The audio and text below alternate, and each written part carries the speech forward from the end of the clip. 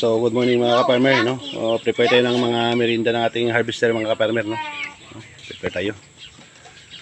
O, kahit mura ngayon ang labuyo. O, farmer, eh, merinda lang, no? O, merinda.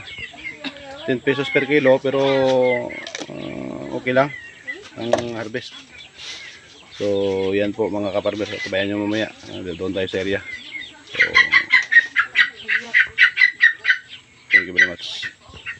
Yan na mga ka-farmer, no? May merinda time na tayo. Nag-harvest tayo ngayon ng labuyo, no? Yan. Oh, yan po. Oh. So yan ang mga harvester natin. Oh. Hindi, hindi nagpakita ng muka mga ka-farmer kasi nahiya. Oh, merinda tayo, boy, boy. Yan. Oh, doon, doon tayo sa ano. Yan po mga ka-farmer, no? Harvest time. Harvest time. Kahit mura lang, laban lang.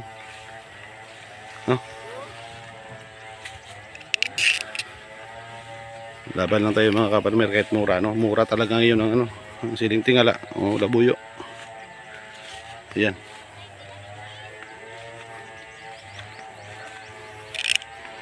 Oh, ang daming bunga oh. Sila naman, ang daming bunga talaga oh.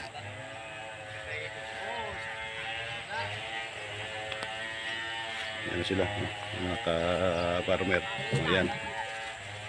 Si Nico po, oh, oh. Yan si Ruby, oh, di ba? Oh, yan. Nahiya, nahiya, nahiya kasi siya no, oh, si Boy Boy, ang kapartner natin. Oh, yan sila. Oh, di ba? Oh, kaway-kaway mga kapartner, no? Ayan. Nahuli yung isa.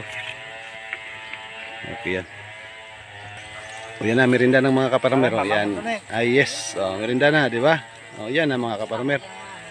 O, kahit mura ang ano, may importante may merinda. di ba?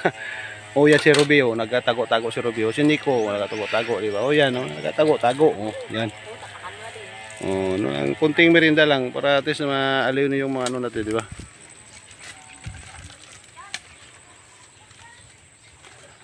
Oh, that's all for today mga kaparmer.